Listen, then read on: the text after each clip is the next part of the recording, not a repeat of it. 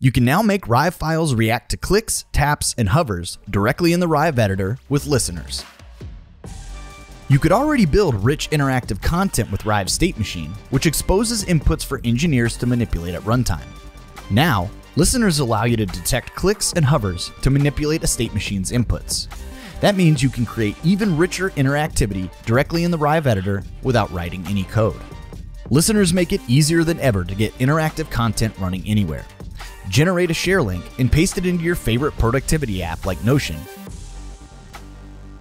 or web design platform like Webflow or Framer sites. It just works. Of course, you can still manipulate everything with code using our open source runtimes. Listeners are available on all of our official runtimes, including iOS, Android, Flutter, and the web. Check out our blog and subscribe to our channel.